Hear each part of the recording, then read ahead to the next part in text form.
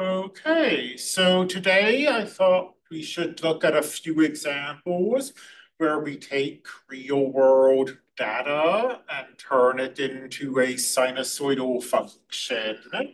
I don't know how, um, if this will take us the entire class period, but it's something we should do. And we will look at the graphs of the other trig functions, but we're going to spend much less time. So that, that will be something we do probably just Monday next week. So for now, let's finish up with these graphs of sines and cosines. So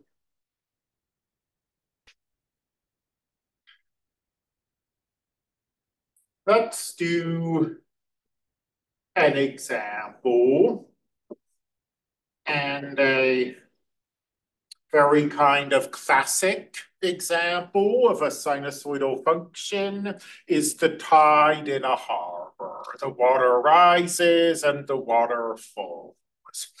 So let's say in a certain harbor, um,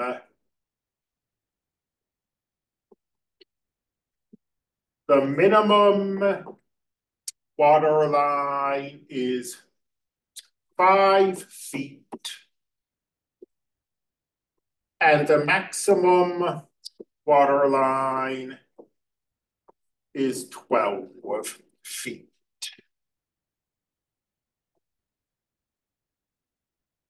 And it takes half a day, so 12 hours to go from the min to the max and then back again. And let's say, let's say x is the time since, well, since some arbitrary selected value. The number of hours since midnight. And then let's say that at midnight,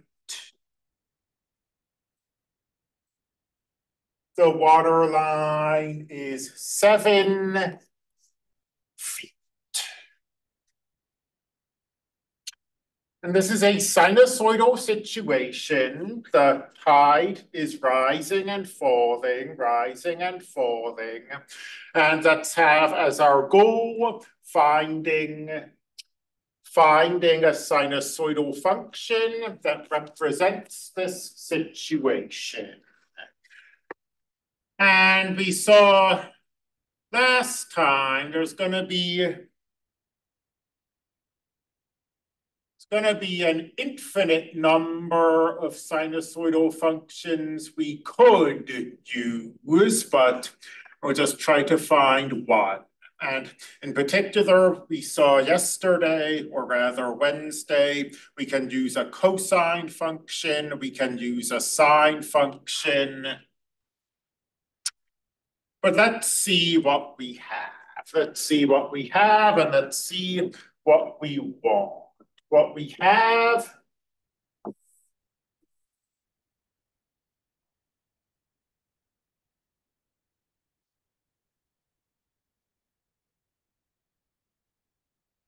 is a sinusoidal curve, a graph that looks like this.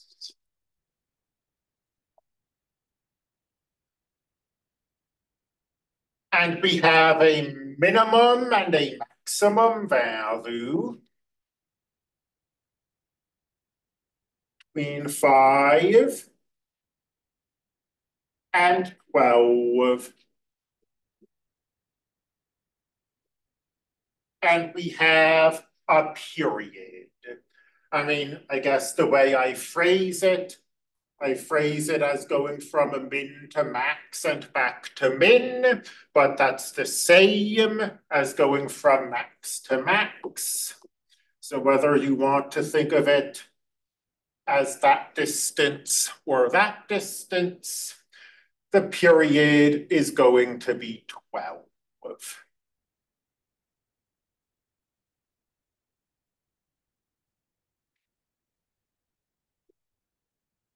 So this is going to be A times the sine or the cosine At the moment, we won't express any preference of bx minus c plus d. And just like we did on Wednesday, we'll just work these A's, B's, and C's and D's out. Um, and we're going to have to use Desmos, I think, to find the horizontal shift, but we'll get to that when we get to it. Um, some of this we can just read off, or not quite read off, but pretty close. So the amplitude is probably always the place to start because it's always, you know, relatively straightforward, or usually relatively straightforward. The amplitude is half of the distance between the maximum and the minimum.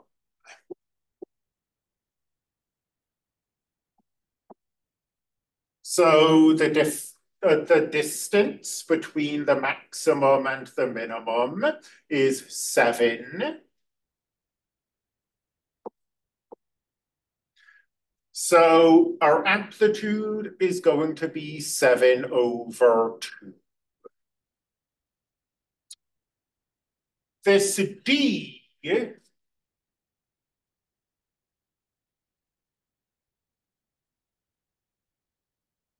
is the value midway between those two numbers.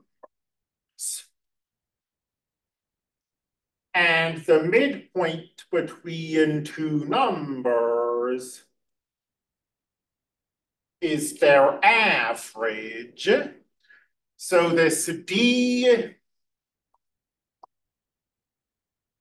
is going to be 17 over 2. And now we have to start doing some algebra, start solving some little equations. The next thing we know is the period, but the period doesn't show up in this equation, not exactly. Instead, we have the period is 2 pi divided by b. And because we know that the period is 12, 2 pi over b equals 12 gives us an equation that we can solve.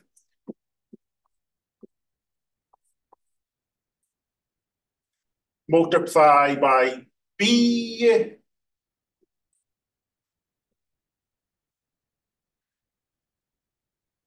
as so often happens, our B, we're now dividing by 12, and our B is some multiple of pi, um, in this case, pi over 6. The, the 2 over 12 is 1 over 6. So the only thing that remains is C. And there's more than one C that could work. And C is going to depend on whether we've decided to use the sine or the cosine. So at this point, we can no longer put that decision off.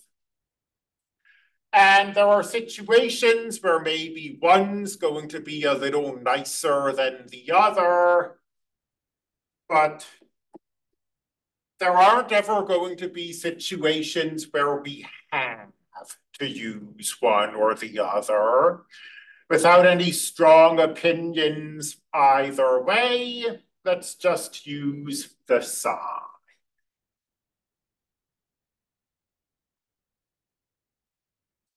Now, let's go to Desmos and let's see what we have. And make what we have is probably not quite what we want, but here we go.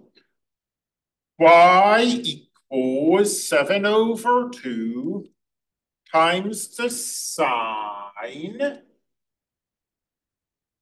of pi over 6x minus c.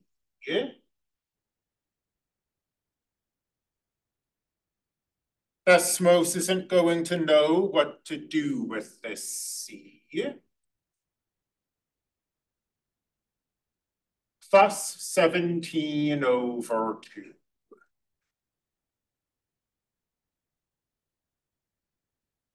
So that's because Desmos doesn't know what to do with this C. Let's just cut it out for a second. And let's see if this is doing what we want it to do. We want a maximum of 12 and a minimum of 5. We've got that. And it's supposed to take 12 hours to go from here to here. And we have that. What we don't have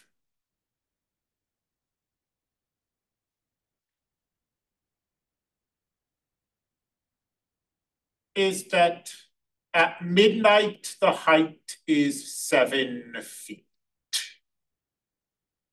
Um, so at midnight, the height is 0.85 feet. And here's where we need to use technology a bit. The uh, textbooks always seem very ambivalent about this, but there's no hope. We helping it.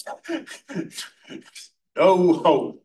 Um, what we need to do is we need to find out where the height is seven, and then we need to nudge this graph a little.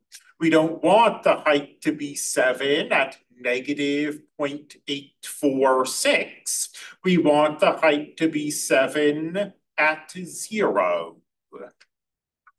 So what we're going to do is we're going to take this graph and nudge it to the right by, by 0.846 units.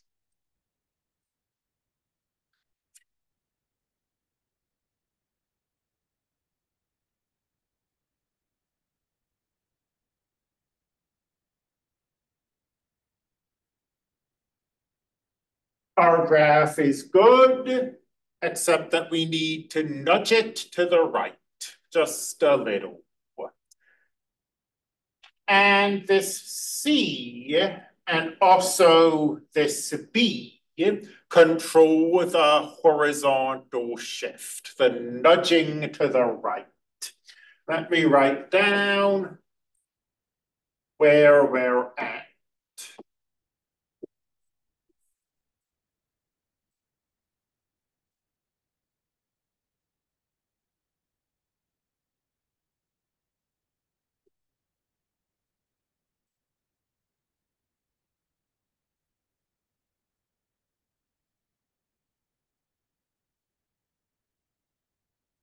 This pi over 6 is our b. And our goal is to take this and nudge it a little to the right by 0.846.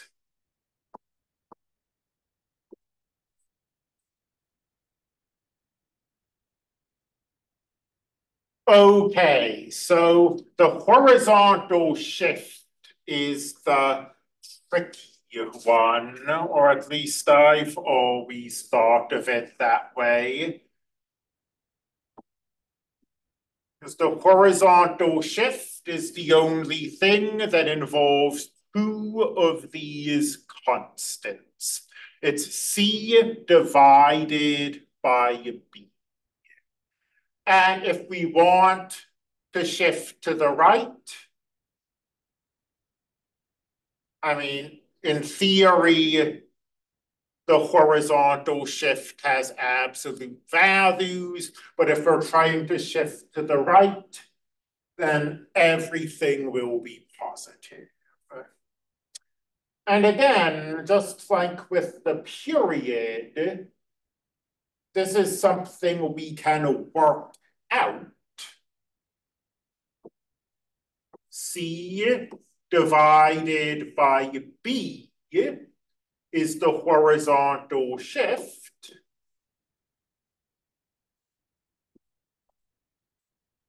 And we want this to be 0 0.846.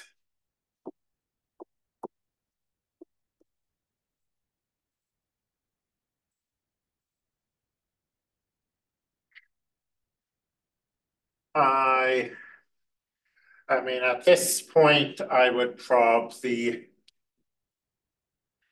probably get the decimal for this.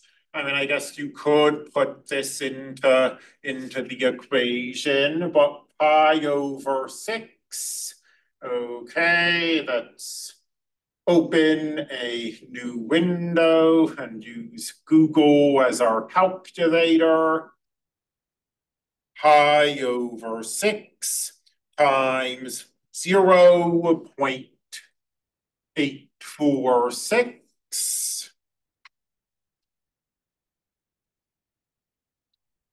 0.44296. So let's round that to 0.443.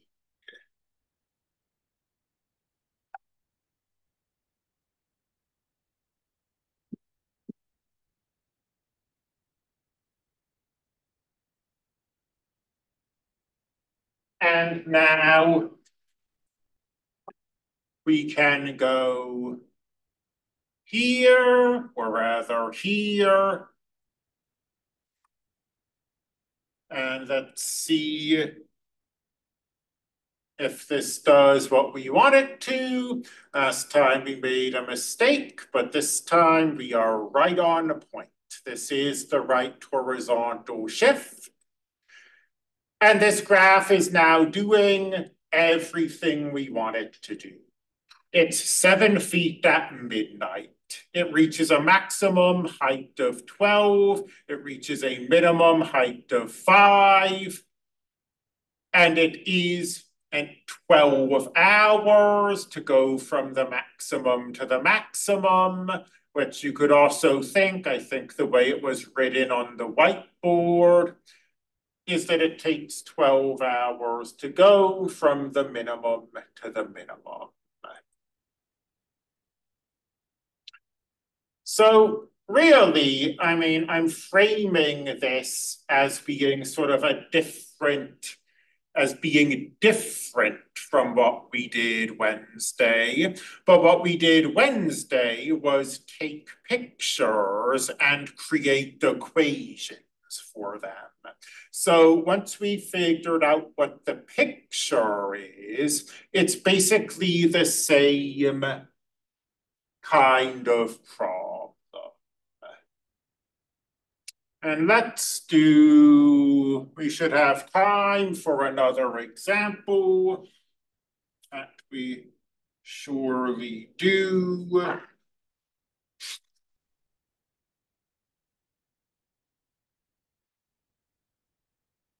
So an example from the textbook.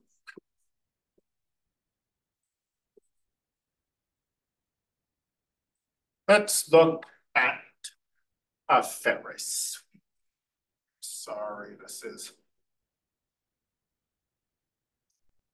way. There we go. Fighting with my phone. So we'll look at a, a real Ferris wheel. The London's Eye, which is a um, massive Ferris wheel located, one presumes, in London.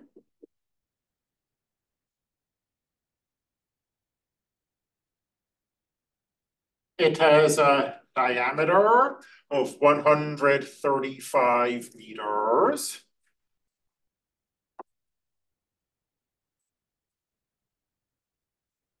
A single rotation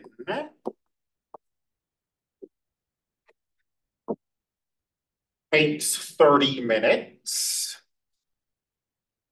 And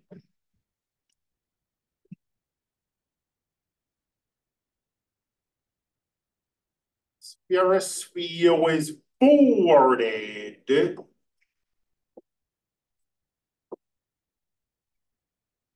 from a platform two meters above the ground.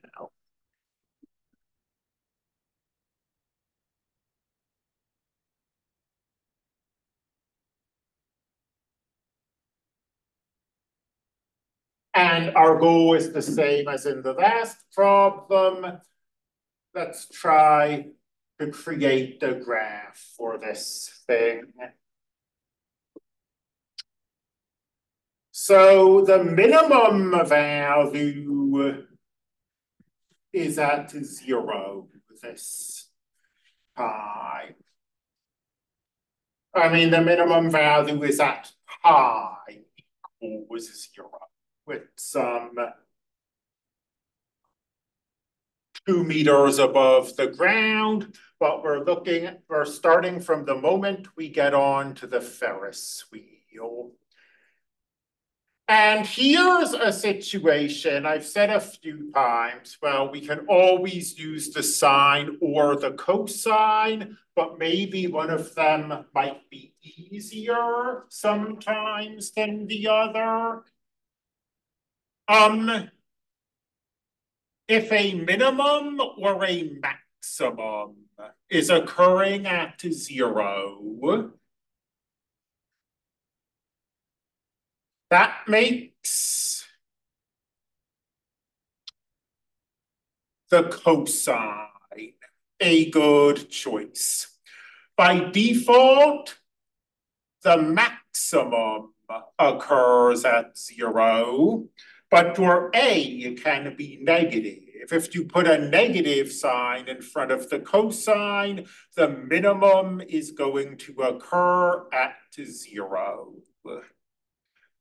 So unlike last time where I waited until the very end to decide is this a sine or a cosine or what,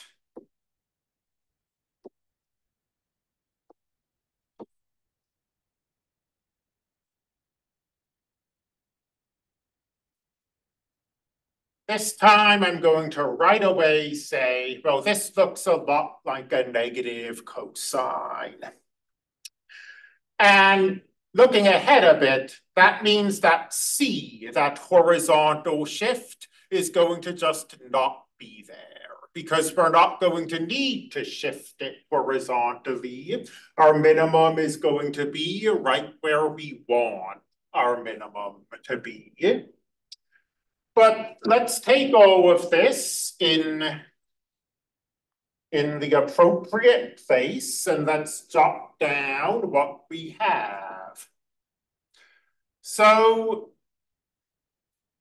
we're given the diameter of this Ferris wheel. So the diameter is the distance between the minimum and the maximum of this Ferris wheel.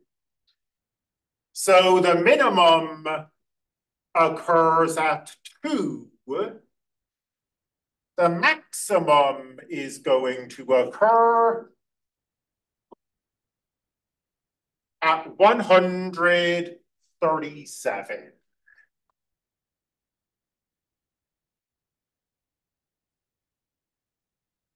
There's the picture. The minimum is two meters above the ground. The diameter is hundred and thirty-five meters.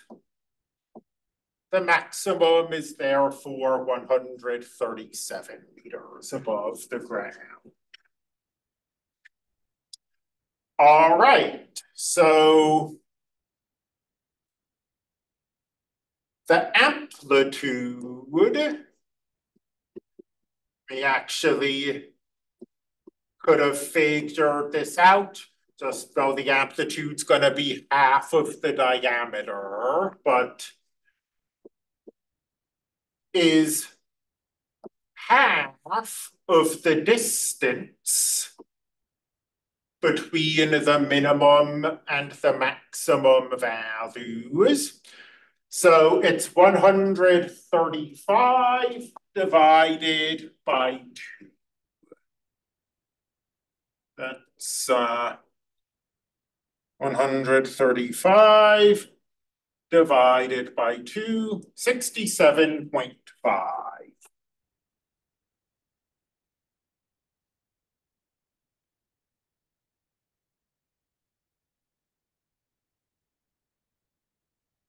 This D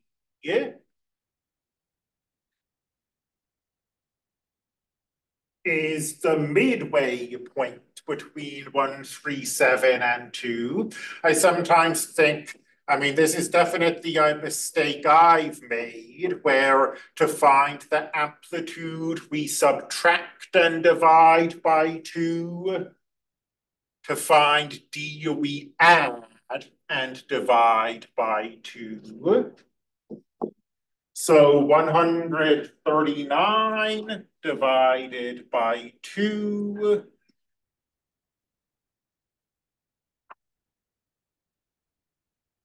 69.5.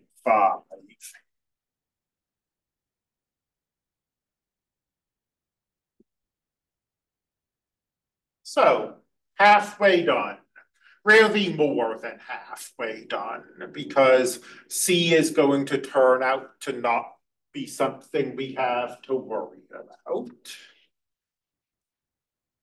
So negative 67.5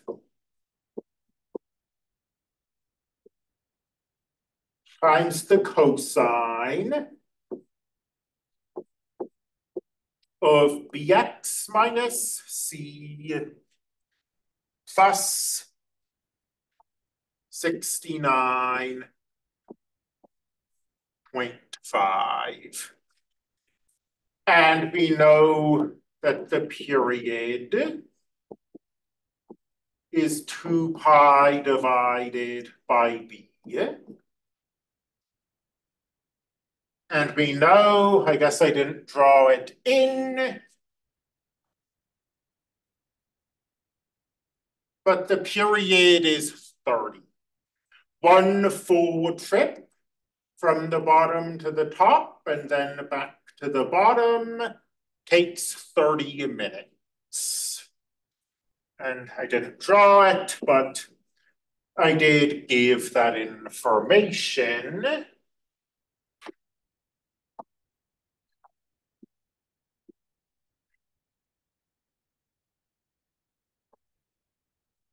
So B ends up being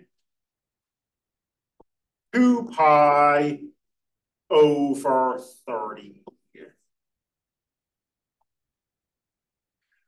And then I always handle the horizontal shift graphically. I take a look at what the graph looks like without any horizontal shift and I ask myself, well, how much do I have to move this thing so it's where I want it to be?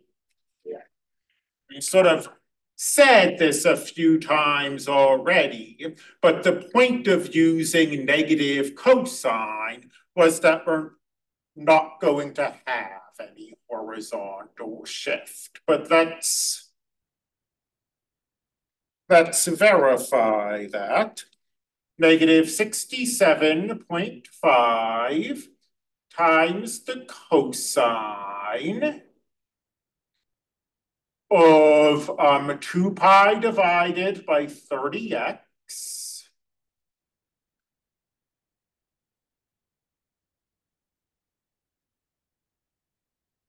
Plus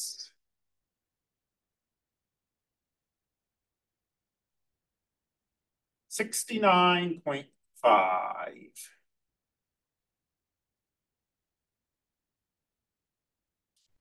So we're, uh, we're seeing very little of this graph. In fact, it looks like a parabola more than anything else. That's uh, a full period is 30. So let's go up to 40. And then the maximum height this thing reaches was I forget about one hundred forty, so let's go up. To one hundred forty. And there we go. And as we predicted, because we used the negative cosine, there wasn't any um, shifting that needed to be done. And again, if if instead of, you know, maybe this is kind of cute using the negative cosine, if instead of using the negative cosine, we used, for example, the positive sine.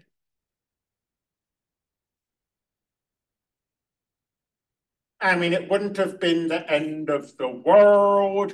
It would mean that the minimum isn't where we wanted it to be. So we would have had to introduce a C term to move this graph a little to the right so that the minimum is at zero.